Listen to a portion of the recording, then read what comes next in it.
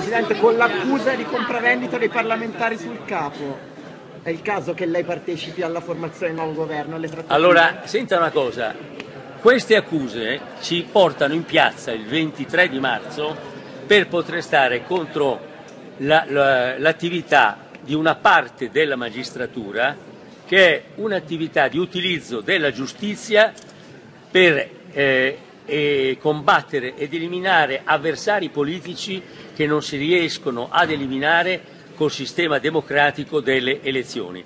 Che la nostra posizione sia forte nei confronti di una parte della magistratura che si comporti in questo modo è chiaro ed è evidente e questa cosa io l'ho già definita in maniera chiara, ho detto che è una patologia del nostro sistema, ho detto che è un cancro della nostra democrazia. Vi basta?